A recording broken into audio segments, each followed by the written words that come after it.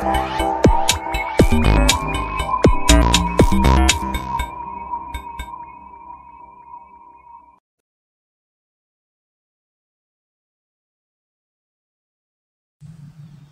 jumpa kembali dalam Renungan Harian GKI Kuitang, Jumat 18 Desember 2020. Bapak Ibu yang terkasih, pembacaan Alkitab kita pada hari ini dari Lukas 3 ayat 10. Orang banyak bertanya kepadanya, "Jika demikian, apakah yang harus kami perbuat?" Shalom Bapak Ibu yang terkasih di dalam Tuhan Yesus Kristus. Kiranya Bapak, Ibu, Saudara-saudari dalam keadaan yang sehat. Jemaat yang terkasih, ketika seseorang yang kita rindukan hendak mengunjungi kita, tentu kita akan bersuka cita. Rasa sukacita ini mendorong kita untuk buat rupa-rupa persiapan dalam rangka menyambut dia yang kita rindukan itu. Minggu ini kita akan memasuki minggu Advent ketiga yang biasa disebut Minggu Gaudate atau Minggu Sukacita. Kita bersukacita karena tidak lama lagi Natal akan tiba hari kelahiran Tuhan kita Yesus Kristus, hari penyelamatan.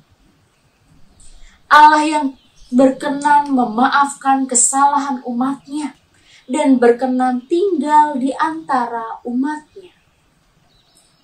Maka bersorak-sorailah, bersukacita dan beria-rialah dengan segenap hati, sebab Tuhan ada di antara kita Lalu, apa yang harus kita persiapkan untuk menyambut Tuhan yang akan datang? Yohanes Pembaptis memberikan jawaban, yaitu berlaku adil dan jujur sesuai dengan tugas dan tanggung jawab kita, serta berbagi kelebihan kepada mereka yang berkekurangan. Selain kebaikan hati yang dinampakkan dalam perbuatan hidup sehari-hari, Rasul Paulus juga meminta kita untuk tetap mengandalkan Tuhan dan bersyukur selalu. Hal konkret inilah yang mesti kita buat selama masa penantian ini. Inilah yang menjadi persiapan kita untuk menyambut Tuhan yang mau tinggal di antara kita. Bapak, Ibu, Saudara yang terkasih, ketika bangsa Israel mendengar janji keselamatan ini, mereka begitu bahagia dan bersorak-sorai. Jika saja bangsa Israel yang menerima janji pada saat itu masih hidup hingga saat ini, tentu mereka akan sangat bergembira ria. Mendengar janji itu saja, mereka menjadi girang gembira apalagi jika janji itu terpenuhi. Tentu kegirangan mereka akan berlipat-lipat. Betapa beruntungnya kita. Bangsa Israel menerima janji keselamatan itu, tetapi yang mengalaminya adalah kita.